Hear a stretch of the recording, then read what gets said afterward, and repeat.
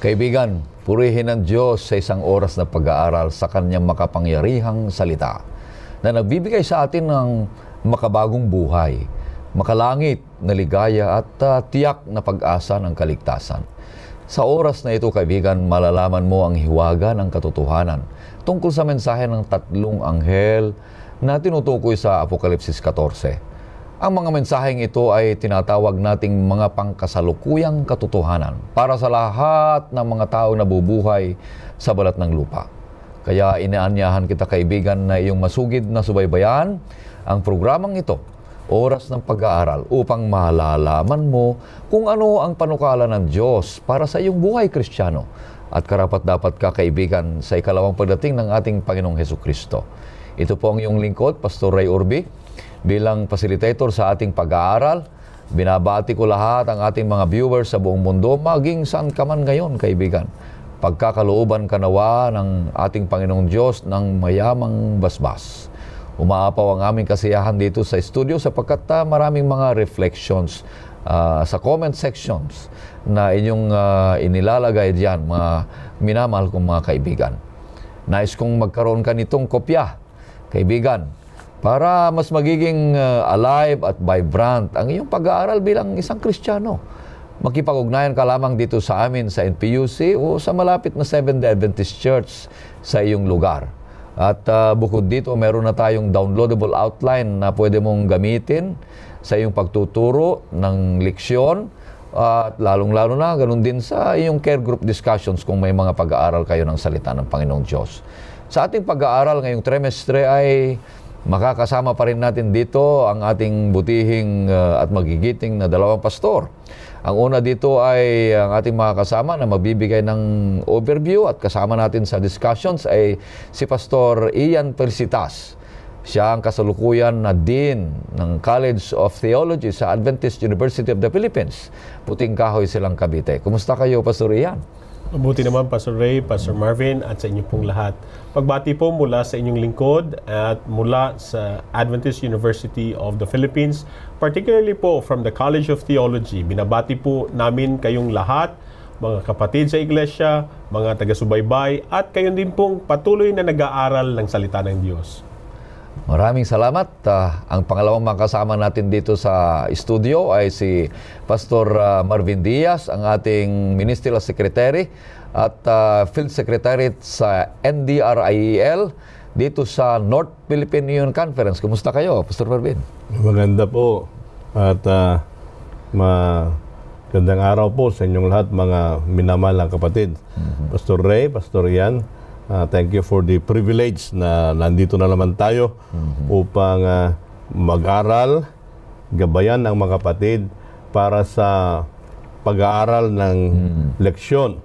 At hindi lang yung pag-aaral ng leksyon, ito po ay maging uh, kaganapan at tunay na maging uh, karanasan sa kanilang buhay mm-hmm. bilang isang Kristiyano. Uh, maraming salamat.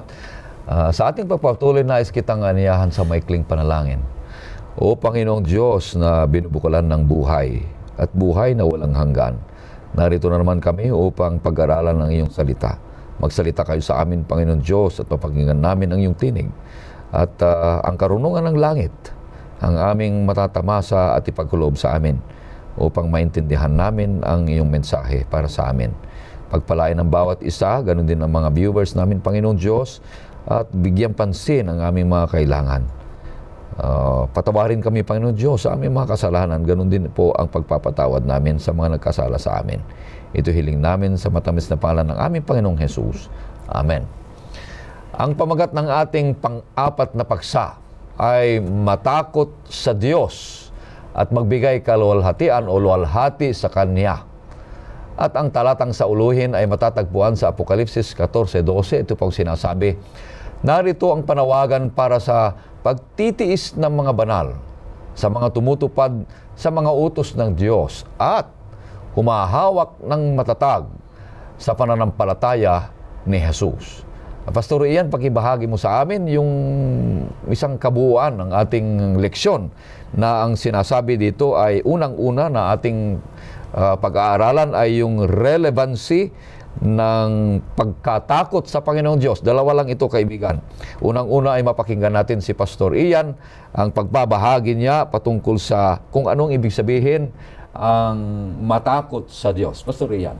Thank you po, Pastor Ray, Pastor Marvin. Ang pag-aaralan po natin ngayon, mga kapatid, ang mga ginigiliw na taga-subaybay sa programang ito, ay ang dalawang salita sa unang bahagi po ng mensahe ng unang sinugong anghel. And this is on the expression po of fear God and give glory to Him. Mahalaga pong maunawaan natin to at ito po ang tutulong sa atin upang mas maging ma- beneficial sa bawat isa sa atin ang mga pag-aaralan natin. Una, tingnan po natin pag sinabi po nating matakot sa Diyos. Pero bago po natin pag-aralan yon, gusto ko po magtanong, ano po ba ang naiisip niyo pag sinabing matakot? Uh, Pastor, may, meron ka bang uh, karanasan nung bata ka na natakot ka? Ah, pag ikaw ay natakot, eh, nanginginig ka na. Nanginginig. O kaya tumakbo ka na. Okay. Ah, umiwas Pastor, ka na. Pa- Pastor Marvin, anong karanasan niyo nung bata po kayo nung sa, ta- sa takot? Ano ba yan? Takot para natatakot sa multo? Mara- marami, marami mga kapatid. Ah, iba-iba. Alam niyo po, dahil doon sa mga kaisipan na yon, yung takot ay na-associate po natin sa seemingly fear or fright. Pero pag pinag-usapan po natin ang Biblia, mula sa la- lumang tipan hanggang sa bagong tipan, fearing God has several connotation. Hindi lamang po siya basta natakot ka sa Diyos, but this has a message of awe. Meaning, may respect ka doon sa tao na yon. You fear him. Natatakot ka dahil ikay may paggalang sa kanya. Ikay may takot dahil siya ay karapat-dapat. Siya ay banal. So, ilipat natin to kung sino ang Diyos. Ang Diyos ay banal, matuwid, at siyang may akda ng lahat, siyang nagligtas. Ibig sabihin ngayon, the fear of God. Remember the, the Old Testament passage, the fear of God is the beginning of wisdom. Wisdom. Hindi basta po to takot, kundi ito'y pagkilala kung sino ang Diyos. So to fear God is to acknowledge who God is. So yun po ang isang pinakamahalagang konsepto on the concept of fearing God. Fearing God has the sense of reverence. Tama po to. Ito'y, there's the awe and respect. But there is, when you say fear God, you acknowledge who God is. Ito po ang isang mahalagang bahagi ng mensahe sa three angels message that a person now acknowledges who God is. Sino ba tong Diyos na dapat sambahin? Sino ba tong Diyos na muling babalik? Sino ba tong Diyos na tagapagligtas ko sa mga huling araw? Sino ba tong Diyos na nagligtas sa atin? So, yung pong message ng three angels messages ngayon, when we say, fear God, it asserts, demands an acknowledgement of who Respect. God is. So, ibig sabihin nun, Pastor Yan, uh, when we say acknowledgement na kung sino ang Panginoon, uh, ibig sabihin yan, God is inviting us a deeper, to have a deeper relationship Yes, sir. with Him. Eh, di- kung babalikan po natin mga pinag-aralan natin, natandaan niyo po ba na mga kapatid na eh, there, God is a God of grace. Yeah. And He offered this grace to us. And this grace is not simply a theological word, but it is a relationship. Tayo po'y makasalanan, ang Diyos ay nag-abot sa atin ng kamay ng pagliligtas at tayo ngayon niligtas niya. Yung sinabi ngayon ng mensahe ng unang bahagi ng mensahe sa tatlong sinugong anghel, fear God, ito ngayon is a demand to acknowledge who God is. Ah, pagkaganda. So, hindi po to basta matakot ka, ay, nanginginig ako dahil ang Diyos. it is it is a recognition of the godness of who God is. Okay? Kung sino siya. At kung sino siya, number one, sabi ng talata, He's Creator. Ah, ma- ka- ma- pag-aaralan po natin, I, I don't like to preempt po yung ma- ilang mama- mahahalagang bagay, pero makikita nyo po doon, talagang pag sinabi natin yung fear God, it is it's a self-denunciation that you acknowledge God being the creator, being your Lord and Savior, and being the God of your life. So sa unang punto pa lang, ang ganda ang ating leksyon mga kapatid. Yung sinasabing ah, matakot sa Diyos ay acknowledgement, pagkilala sa Diyos. Sabi ni Pastor, yung mas malalim na pagkilala mo na nagpapahiwatig na kilalalin mo ako. Isa pa nito ay tumatawag siya, Pastor, ng isang pagsamba. Tama Kasi po. kinakilala mo na siya eh, acknowledging siya. So, yung, yung pagkatakot ang at pagtawag. pag-acknowledge sa Diyos, ito pong dapat na makita po ng mga kapatid natin, ang pagkilala sa Diyos demands worship. Worship.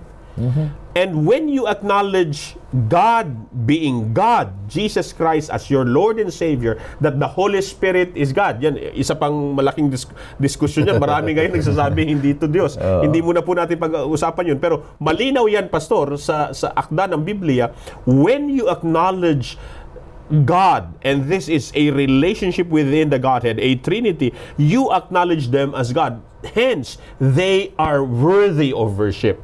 Walang ibang affection na dapat kundi para sa kanila lamang. So ito po ay ito yung pangbungad na dala ng mensahe ng tatlong sinugong anghel. Napakaganda mga kapatid. Napakaganda ang ating leksyon kapatid sapagkat sinasabi dito na matakot ka sa Diyos, hindi ito yung matakot na lumayo o kaya nanginginig o kaya huwag nating pansinin kundi ang sinasabi dito na mga una-una pa lang na ipinapaliwanag sa akin yung yung matakot sa Diyos ay magbigay tayo ng pansin sa Panginoong Diyos nagpapakilala siya na meron tayong mas malalim na ugnayan sa Kanya at tumatawag siya upang sambahin natin.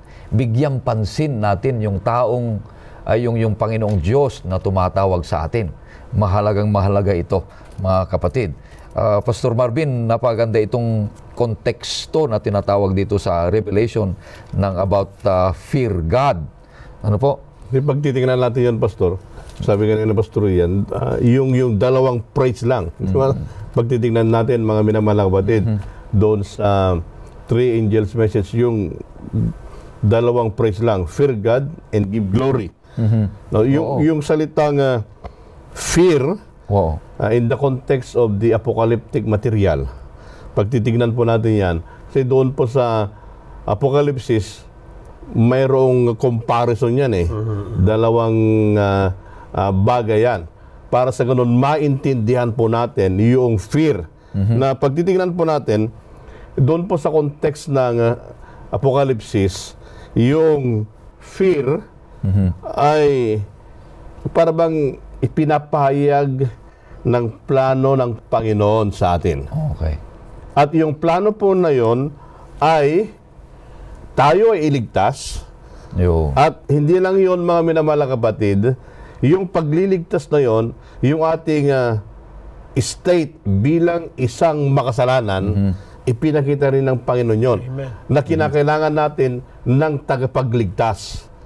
At yung fear God, in the context doon po sa Apokalipsis, ibig sabihin po yan, ano, siya yung Diyos na nagligtas sa atin. Oh. Hindi lang yon. Another, another, kasi sabi ko kanina, comparison, ano, inirebuild din yung plano ng kaaway. Oh, okay. Ano ba yung an- ano ba yung uh, plano ng kaway? Yung plano niya ano, yung bang you glorify your own self. And ito yung ipakita mo kung sino ka. Oh, the, the, the pride.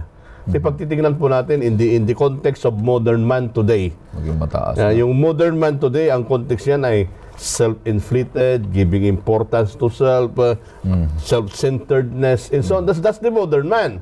Then, how can they, how can a modern man fear God? Kasi ito yung kanyang kalalagayan. And, ang sinasabi ng Panginoon ay, yung, yung bang, the urgent call, the urgent call is to fear God and give, and give glory to Him. Kaya nakita po natin yung comparison nito na ang Panginoon, the plan is to redeem sinner and the other hand, ang plano din ng kaway is to glorify yourself, feed yourself, Tama. and be a self-centered. Nawawala na yung yung ah, pagkatakot sa Panginoon. Nawawala na rin yung pagbigay, luwalhati sa Kanya. Paggalang. Bakit mga manamala kapatid? kin, the, the counterfeit the counterfeit na plano ay ito na ipinahayag ng kaaway, Pastor Ray. Mm. So, meron pang isang punto dito, yung ibig sabihin ng, ng matakot. Ipapahiwatig, papahayag sa atin ng Panginoong Diyos na siya ang tagapagligtas at siya ang manunubos at ipinapahiwatig pa pag, ito'y matakot ka sa Diyos, pag sinasabing matakot ka sa Diyos, ay ipapakilala na ikaw ay makasalanan, na kailangan mo ang tagapagligtas, na wala nang iba kundi yung nagsasabing tumatawag sa atin na matakot ka na matakot ka sa Diyos na ang Diyos mismo. Pagkatapos ang maganda nito ay ipapakilala rin pala kung sino ang kaaway na iwasan natin at layuan natin sapagkat ang ipinapakilala niyan ay yung iyong sarili. Itaas mo ang iyong sarili. Yung comparison niya ang maganda dito. So, iwasan natin ito. At yung isa naman ay uh, ipahiwatig na kilalanan natin kung, ang Diyos, Pastor Ian. Kung titignan po natin mga kapatid yung tala ng Biblia, buksan po natin ang uh, mga Biblia natin sa Apokalipsis, Kapitulo 14 mga kapatid. At patuloy mula po sa versikulo 7, ang sabi po, Pastor, Pastor Ray, pwede po bang pakibasa sa liwat ng, ng, ng Tagalog? Sinabi niya sa malakas na tinig, Matakot kayo sa Diyos at magbigay luwalhati sa Kanya sapagkat dumating na ang oras ng Kanyang paghuhukom at sambahin ninyo ang gumawa ng langit, ng lupa, ng dagat at ng mga bukal ng tubig. Kung makikita niyo po mga kapatid, malinaw po yung yung concept ng fear and giving glory to Him is also associated mm-hmm. to worship. Mm-hmm. But more than that, it is associated to obedience. Obedience. Yeah. Isang isang buhay na pinapasakop natin sa Diyos mm-hmm. na tayo ngayon ay mamumuhay ng may takot at nagbibigay lahat sa Panginoon ng may pagsunod sa Kanya. Malinaw po ito mula dito.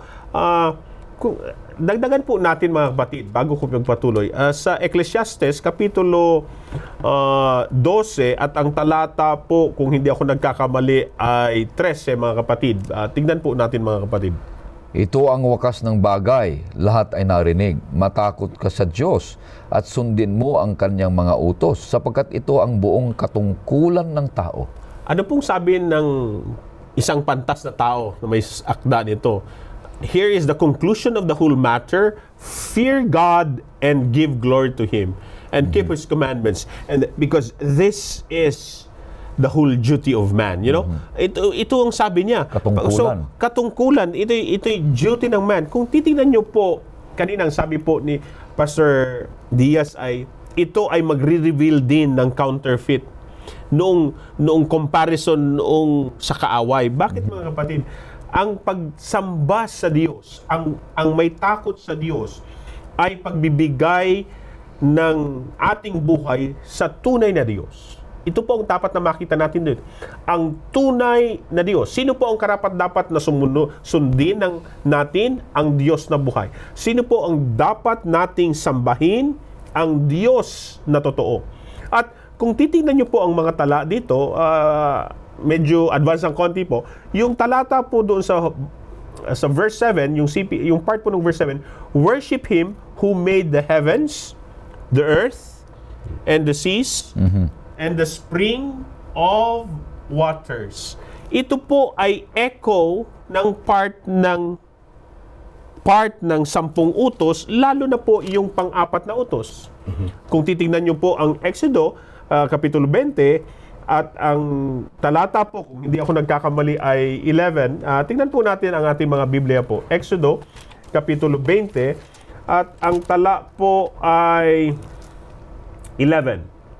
For in six days the Lord made the heavens and the earth, the sea, and all that is in them, and rested. Rested on that on the seventh day. So mm-hmm. what you find here, friends, there is a direct allusion to an Old Testament command. So mahalaga mga kapatid na makita natin na associated sa fear God, give glory to Him, is a life of obedience of someone Amen. who says that I have a relationship with Jesus, the God of grace.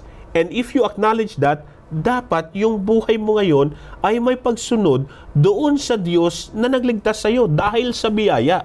ito po yung isang kagandahang mensahe ng unang mensahe ng Three Angels message. So, ibig sabihin, Pastor Ryan, pag sinasabi mo na ako ay ligtas na by the grace of God, but hindi ka naman sumusunod doon sa obedience, doon sa, sa kautusan, hindi para bang contradictory Hindi, yung... hindi pagkatakot yon. Ah, eh, eh, pa- hindi pagkata hindi pagkatakot 'yon. Oo. ang ang tunay na kaligtasan ay mula sa Diyos. Tama. Kailanman ang pagliligtas ng Diyos ay hindi para sansalangin ang kautusan niya, kundi tayo'y mamuhay in the lordship of who God is. That means we are to live in obedience to Him, in full obedience mga kapatid. Uh, until to the point of death, ika nga. Kasi kung pag-aaralan po natin yung konteksto ng Revelation, yung mga saints ay dadaan sa mga pag-uusig, sa mga pagsubok. And those who overcome, nap- napag-aralan po natin yan sa first lesson natin, will receive a crown. So therefore, ang point dun is, even to the point of death, we are to obey Him who has given us salvation. Ito po yung mahalagang ah, paalala din sa atin ng leksyon natin tung linggong ito. So ma- maga, maga, maganda Pastor Ryan kasi may may nagtuturo na we are saved now uh, of grace but uh, hindi naman yung pagsunod ay wala, naman. Wala. Kaya mga minamahal na mga kapatid, kinakailangan ito. The, the, the life of obedience is the definition of what grace had done to your life. Amen. Di ba mga minamahal na kapatid? Kaya maganda po ito eh, yung, yung pagkatakot sa Panginoon, kalakip pala nito ay magkaroon ng mag, ma, healthy, Oh, malusog. malusog Oo. na Na- pagsunod Oo. sa kagustuhan ng ating Panginoong Yesus. Kaibigan, napakaganda ang unang unang pag-uusap pa lang natin sa ating leksyon. Nandun pa lang tayo sa salitang matakot na ang sinasabi nito pala ay kalakip ito na sinasabi nyo doon sa ebanghelyo na tinig ng anghel na malakas na pabalita na matakot tayo. Ibig sabihin, pag matakot tayo, respetuhin natin ng Diyos, igalang natin siya o kaya kilalanan natin siya dahil siya ang magliligtas, makikilala natin kung sino tayo. Pagkatapos nito pala ay pagsamba, eh, tinatawag tayo sumamba sa Kanya. At sinasabi natin dito, ang naintindihan ko ay, ang pagkatakot ay isang pagsunod, ayon doon sa binasa natin. Pagsunod sa kautusan ng Panginoon Diyos, yung respond, pagsunod sa kautusan ng Panginoong Diyos. Dagdagan natin, Pas, uh, Pastor Ray, yung pagsamba kasi, yung, yung fear God, when you acknowledge who God is in your life, ito po ay hindi one-time e- event. It is a lifestyle. Okay. It, it is it starts from the day you acknowledge him, he justifies you, you know, at that point it you start to live a life that is in fear of him, Amen. in acknowledgement of who God is and you give glory. Sabi nga uh, ni Pastor uh, Diaz kanina eh, in all facets of our life, sa lahat ng bagay, pati sa pagpili, lalo na po ngayong mga huling araw, ano po ba ang greatest temptation natin? Na kilalanin natin na tayo na ang Diyos ng sarili natin. Wala nang wala nang Diyos na nagsasabi, ay magpahinga ka muna. Mag-pause ka, kilalanin mo ako. Hindi. Ah, gagawain ko to kasi para sa akin. This is what's happening in our present life, Pastor. So, madalit sabi, ang pagkatakot ay isang buhay na mabubuhay o palaging nananatili sa ating Panginoong Hesus at pag, sa pamagitan ng pagsunod ng kanyang mga kautusan at nabubuhay sa biyaya ng kapangyarihan ng ating Panginoong Diyos. Para ito'y mapalakas tayo sa ating buhay kristyano ay iniisip talaga natin ng pagkatakot sa Diyos ay isang pagsamba, isang pagkilala, isang pagsunod, na ang pagsunod ay isang lifestyle natin sa ating Panginoong Diyos. Iyan ay nagpapakita ng malalim, sabi nyo kanina, na relasyon sa ating Panginoong Diyos na nabubuhay sa kanyang kautusan. Mga minamahal kong mga kapatid. So, maliwanag yan. Yung salitang pagkatakot, unang-unang tandaan natin sa ating pag-aaral. Ang pangalawa dito na gusto nating malaman dito sa ating leksyon, ayon doon sa ah, title o kaya doon sa tema o kaya doon sa uh, topiko ay Ah, sabi niya, hindi lang yung matakot ka sa Diyos, kundi yung uh, uh, luwalhatiin, sinasabi dito Pastor Marvin. Ah, ano yung pagkaintindi natin dito sa giving glory, yung pag, pagluwalhati. Pareho ba doon sa pagkatakot? Maganda po yung, Pastor eh, maganda po yung connection nating uh, pinag-aralan dito. Kasi yung, yung dalawang praise na lang, mayaman na sa Oh, ibig sabihin. kaya kaulugan. Kaya pag sinabi po natin giving glory, magbigay luwalhati sa Kanya, ibig sabihin po nun ay yung buhay natin, it should be congruence. Para bang... Sangayon. Sang-ayon. Oo. Uh, sang-ayon doon sa pamumuhay noong nagligtas sa atin. Amen. Okay. Yung mga minamahal na kapatid, kaya kinakailangan po yon yung pong pagbigay ng pagkatakot sa Kanya, pagbigay kalwalhatian sa Kanya mga minamahal na kapatid, ito po ay nagbibigay kung ano ang nangyari sa atin na na-transform sa Kanyang biyaya sa lahat ng ah, part ng ating ah, pamumuhay. So, ibig sabihin, yung pananalita mo, Mm.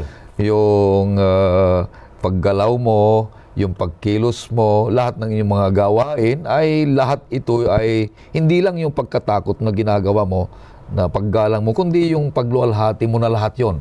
Tama po, Pastor. Ah, Yun, yun po kabahagi ay- na lahat. It talks about the whole being of a person. Di ba? Na, na, napaka, napakaganda yun, mga minamahal ka na kapatid. Yun po yung distinction, yung pagbigay, walhati sa Panginoon, kaysa yung namumuhay tayo ayon sa ating kagustuhan. Ito ay namumuhay tayo ayon sa kagustuhan ng Panginoon. Hindi yung ayon sa aking kagustuhan. Sabi ko nga mga minamalang kapatid, may, may comparison dito eh. Yung sa Panginoon, sa kanyang kagustuhan, yun sa kaway, sa aking Okay. kagustuhan. Kaya ito po yung uh, tinitingnan po natin na magbigay ng luwalhati sa Panginoon ayon sa kanyang kagustuhan. So, nabubuhay doon sa kalooban at kagustuhan ng Panginoon Diyos. So kung unang-unang sinasabi dito mga kapatid, yung ibig sabihin ng pagbibigay luwalhati sa Panginoon Diyos, sa paliwanag ni Pastor ay yung pagkaintindi natin na nabubuhay tayo ayon doon sa kalooban o kagustuhan ng ating Panginoong Diyos. Yan ang ibig sabihin mga kapatid. Ang isa sa mga puntong tandaan natin, ang ibig sabihin ng luwalhati sa ating Panginoong Diyos. Ito'y kalakip dito sa kwan ah, yung kung ikaw ba'y patay na eh, nagbibigay ka pa ba ng luwalhati? Wala na. Ano? So ibig sabihin, kung habang tayo nabubuhay pa, Pastor Marvin, nagpapakita na tayo ng tunay na ang ating buhay ay isang hain, isang isang nagbibigay ng luwalhati sa ating Panginoon Diyos. Ibig sabihin, tumutupad tayo sa kanyang kautusan, sa kanyang kalooban. Napakaganda nito.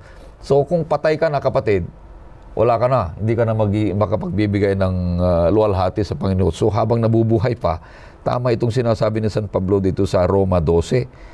Ah, gusto kong basahin, sabi dito. Kaya nga mga kapatid, isina Samo ko sa inyo, alang-alang sa mga kahabagan ng Diyos, na inyong ialay ang inyong mga katawan sa isang handog na buhay, banal na kasiyasiya sa Diyos, na siya ninyong makatwirang paglilingkod. Ibig sabihin nito ay yung ating buhay habang tayo nabubuhay, magbibigay luwalhati sa pamagitan ng ating gawa, ah, ating sinasabi, lahat ng mga ito ay magbigay kapurihan sa ating Panginoong Diyos.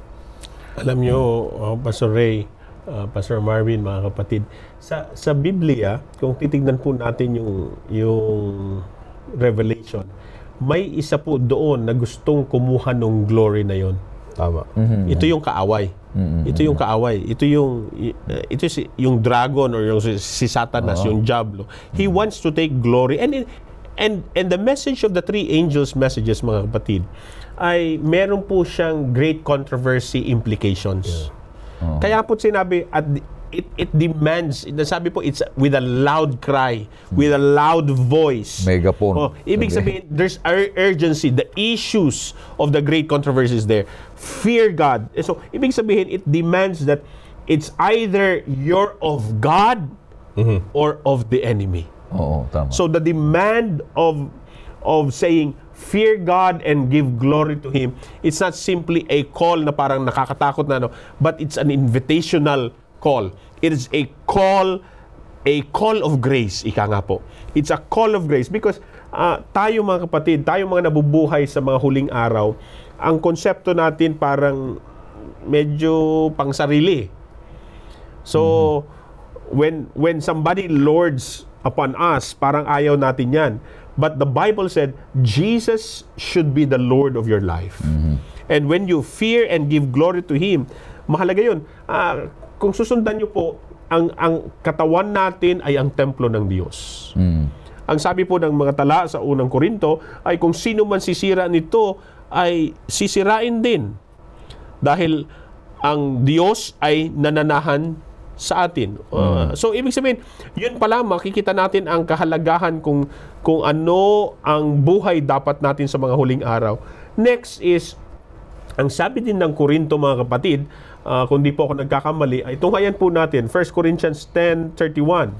Sa lahat ng bagay, sa lahat ng bagay, um, whether we eat, drink, or whatever we do, we should do, uh, we should give glory to God. And ito po ay kaakibat pa rin nung sinabi po ng, ng mabuting pastor po na si Pastor Diaz tungkol sa buhay dapat ng isang mananampalataya sa mga huling araw. Ibig sabihin nun na Pastor Ian, kasi ito ay yung context ng great controversy. Opo, opo. Now, so the moment na yung buhay ko ay in line doon sa Panginoon, I am giving glory to Him. Amen. Oo, luwalhati. But the moment na yung buhay ko ay off tangent, Hindi sang-ayon sa kanya. hindi sang-ayon doon sa pamumuhay, Hindi tumutupad. doon sa gusto ng Panginoon, ibig sabihin noon, I'm on the other side. Yes, sir. Kasi nasa nasa great controversy. Dalawa lang po yung yan side, eh. Pastor Marvin, mga kapatid. Oo. Hindi po pwedeng Sa gitna. namamangka tayo sa dalawang Oo. ilog, ika nga. So the, so the invitation now of uh, uh, fearing God and giving glory to Him is only for the Creator. Yes. Iyo- yun lang mga minamahal na kapatid. Para sa kanya lang yan. na para sa ganon ay magkaroon tayo ng kalulhatian and the moment na hindi magawa doon ay ano we are on the kabilang bakod Oo. kasi doon po sa context ng uh, ng great uh, controversy kaya mga minamahal na kapatid napakaganda itong ating uh, ating lesson kaya nga yung ating memory verse doon kanina ay here is the patience of the saints Amen. So, yung yung patience na yan, ay it will only be sharpened kung tayo po ay napasakop sa ating Panginoong Jesus. Na maganda, nakakakuha ko ng magagandang punto dito mga kapatid na yung giving glory ay yung nabubuhay sang-ayon doon sa kalooban ng Panginoong Diyos. Alam natin na ibang mga teksto dito ay yung glory ay isang karanasan o kaya karakter ng ating Panginoong Diyos. Na kung tayo ay nabubuhay doon sa karakter ng ating Panginoong Diyos, nagbibigay ito ng glory. Nagbibigay ito ng kaluwalhatian ng Panginoong Diyos. At doon tayo nababago hanggang sa kanyang ah, ah, kaluwalhatian o sa kanyang ah, larawan ng ating Panginoong Diyos. A- alam nyo, Pastor Ray, Napapabanal tayo patungkol dyan sa kanyang mga salita. Yung salitang glory, it's a one word that is very pregnant with meaning sa sa bagong dipan. Mm-hmm.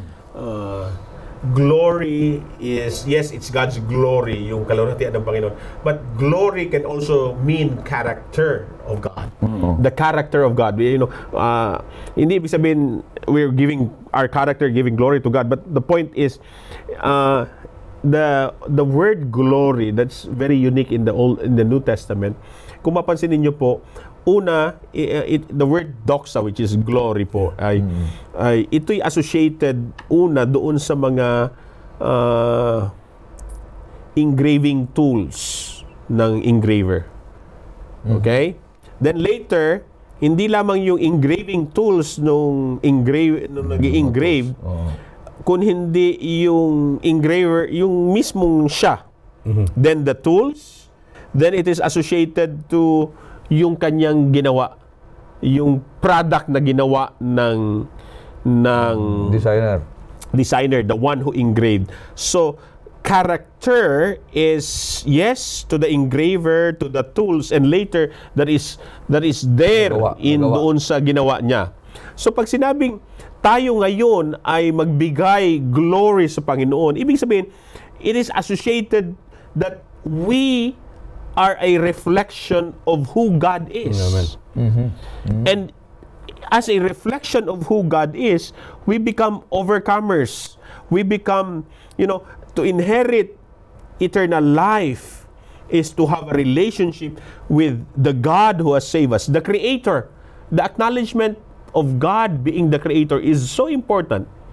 Ito pong ibig sabihin nito, we are submitting to Him everything. And when we give glory to Him, we acknowledge Him as the one that is the engraver, ika nga, who has used and engraved to us. You know, He has molded us. He has transformed us. And when we give glory to Him, we shine for Him. We worship Him in all of His greatness. And thus, God's people in the last day reflect who God is. Wow. Yun po yung isang mahalagang panawagan nito. Pero yung panawagan na yun is to those who will overcome. Sa mga yung mga tumanggap kay Panginoong Hesus. Opo. Dahil yung mga tumanggap sa ating Panginoong Hesus, sila din yung nanagumpay at yung pananagumpay ni Jesus, ito pong kagandahan nun. Yung pananagumpay ni Jesus, ang kanilang pananagumpay. Oh. Hindi Oo. yung sarili natin. But God's victory is our victory. Hence, we become overcomers because through Christ, we are overcomers and we have overcame because of Christ. Napakaganda nito. Karapat dapat lang pala tayo kaibigan na kung tayo ay tumanggap sa ating Panginoong Hesus, tinatawag tayo na matakot sa Kanya. Sa mamagitan ng pagkikilala natin lubusan sa Kanya, uh, tayo ay sumunod sa Kanyang kalooban. At ang tawag nito ay magbigay luwalhati. Ibig sabihin, ibibigay natin lahat ang mga kalooban ng Panginoong Diyos ayon sa kanyang kapangyarihan, ayon sa kanyang biyaya na mabuhay sa Kanya. Mag-reflect yung ating buhay sapagkat siya ay uh, glorified. Glory to glory. From glory to glory. So, yung, yung, yung, yung luwalhatian ng Panginoong Diyos ay ibibigay sa atin na tayo dapat magluwalhati sa Kanya sapagkat siya pinanggagalingan ng ating kalawalhatian. Kaya napaganda itong mga kapatid na wala tayong magagawa sa lahat ng mga bagay. Galing lahat sa Panginoon Diyos. Amen.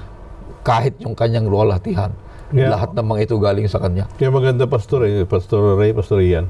So, pag tignan natin yan, ah, sabi ka rin, Pastor Ian, we, we became, we, or we become um, overcomer. Oo. Na, not only that, hindi lang yon even the the the faith if we Oo, if we give glory to God. Kasi yung yung ating uh, uh, memory verse kanina ang sabi doon ay the faith of Jesus. Ano yung pananampalataya ng ng Panginoon if we give glory to him maganda to mga kapatid eh, even the quality of faith Yes. Ah, yung ah, ano bang quality sa Tagalog Kalidad. May kalidad yan. di di kalidad ng pananampalataya. Oo. Yan. Yung pananampalataya yun ay pananampalataya ng ating, ating Panginoon. Amen. Maganda. Then that will that will entitle us to be an overcomer. Ah, di ba, papagibasa Pastor Ray doon sa ah, Apocalypse 21.7. Ah, maganda yung pagka salita doon eh. Ah, ito gusto ko lang susugan yung sinabi ni Pastor Ian doon po sa pagiging ah, overcomer. Sabi dito, 7, ang magtagumpay ay magmamana ng mga bagay na ito. At ako'y magiging Diyos niya at siya'y magiging anak ko. Di ba? Na, na, na, na- ang napakaganda eh, yung, yung relationship na, na ipinakita eh. Yung magtatagumpay Anong sabi ng Panginoon? Ako yung kanyang Diyos at siya yung aking anak. Anak. Mga minamahal na kapatid, it's, it's, it's a family it's a family relationship. Relationship. Kaya ito po, pagtitignan po natin, nasa chapter 21 na tayo nung nung Revelation. Ito na ay eh, yung yung 20 chapter 20 ay yun yung end of sin. Tama ba ako, Pastor? Yes, end of sin. Then 21 and 22, it is the state of recreation. Kaya pag titima, napakaganda mga minamahal na kapatid. Being an overcomer ay ina-acknowledge natin ng ating Panginoon is our Father. And God acknowledges us that we are His sons and daughters. Amen. Kaya nga't mga minamahal na kapatid, yun yung pagbibigay ng glory. It's now the quality, the quality of faith that will entitle us to be an overcomer. Napakaganda. Kaya Pastor Ian, Pastor Marvin, napakaganda itong ating leksyon na malaman ng bawat isa sa atin. Ikaw ay mananampalataya, nanunood ka sa ating pag-aaral. Nawa ito'y maging matibay na mensahe para sa iyo na ang pagkatakot sa Diyos, pagbigay kapurihan sa Kanya, ay makikita sa ating buhay ang Kanyang kalooban. Makikita sa atin habang tayo nabubuhay. Nabubuhay tayo na reflector ng Kanyang uh, kaluwalhatian, mga minamahal kong kapatid. Sapagkat uh, ang bawat sinasabi nyo sa atin, inapanagalan, ang bawat mananampalataya ay kailangang magtagumpay ayon sa kalidad ng kanyang pananampalataya na pananampalataya ni Jesus, mga kaibigan. Kaya ito'y isang halimbawa sa atin na tayo bilang mananampalataya, sabi dito ay may pagtitiis dahil tayo isang tinawag na banal, tayo isang tumutupad sa kautusan at hawak nating matatag ang pananampalataya ni Jesus. Hindi pananampalataya kay Jesus, kundi pananampalataya ni Jesus. Sapagkat pananampalataya ni Jesus lamang ang nagbibigay sa atin ng tagumpay at pagwawagi laban sa kaaway. Kaya mga minamahal kong kapatid, magandang paraan ito. Pupunta na tayo sa panghuling uh, mensahe o panghuling uh, uh, take away. Pastor uh, Ian, Alam niyo po, napakaganda ng panawagan ng aklat ng Apokalipsis. The book of Revelation is not simply uh, a book about grace, but the book of Revelation is a book that calls us into a relationship with Jesus. Inaanyayahan tayo ng ating Panginoon na magkaroon tayo ng relasyon sa Kanya. At itong paanyaya na ito ay ito rin ang paanyaya namin dito ni Pastor Marvin, Pastor Ray, sa inyong lahat mga kapatid, na kung papaano na nagumpay ang ating Panginoon, ang pananagumpay na yon ay magiging sa atin dahil sa Kanya. Tayo din ay magkakaroon ng isang kalidad ng pamumuhay na incomparable nga.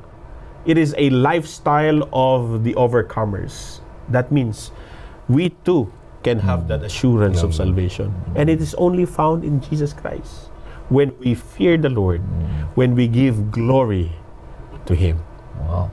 Pastor Marvin, Pag titignan po natin, fearing God should be a life centered to Christ.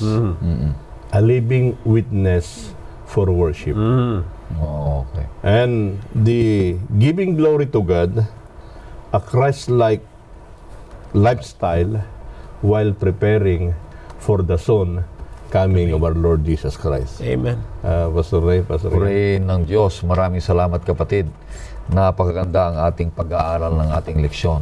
Nawa po ang isang mananampalataya ay patuloy na matakot sa Diyos, magbigay ng kapurihan sa magitan ng pagsunod ng lahat ng mga kalooban ng ating Panginoon Diyos. Nasa Kanya ang pananampalataya ni Jesus na matibay na uh, lumalaban sa lahat ng mga pagsubok at maging matagumpay at magwagi.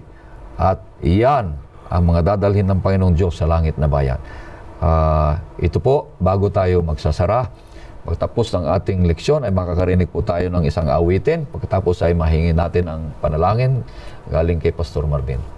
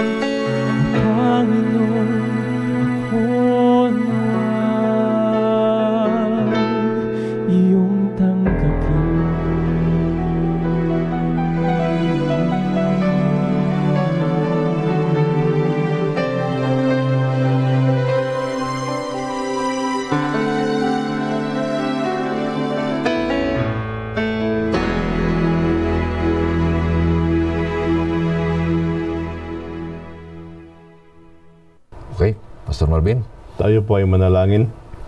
Dakilang Diyos, maraming pong salamat sa aral na inibigay niyo sa amin. Mm. Na kinakailangan namin na kayo ay aming uh, luwalhatiin, mm. papurihan, at magbigay galang po sa inyo. No, po. Para may reflect po namin ang karakter ng aming Panginoon Yesus. Mm. At upang kami po ay nakahanda sa inyong muling pagbabalik. Nawa Panginoon, tulungan niyo po kami na dahilan sa iyong biyaya that we can fear God and give glory para sa ganon ay maging sakdal po kami sa iyong muling pagbabalik. Marami pong salamat sa pagdinig sa aming panalangin sa pangalan ni Jesus. Amen. Amen. Kaibigan, ako'y patuloy na nag-anyaya sa iyo na ikaw patuloy na susubaybay sa oras na ito, oras na pag-aaral, sapagkat ang Diyos ay nagmamahal sa iyo kagaya ng pagmamahal namin sa iyo.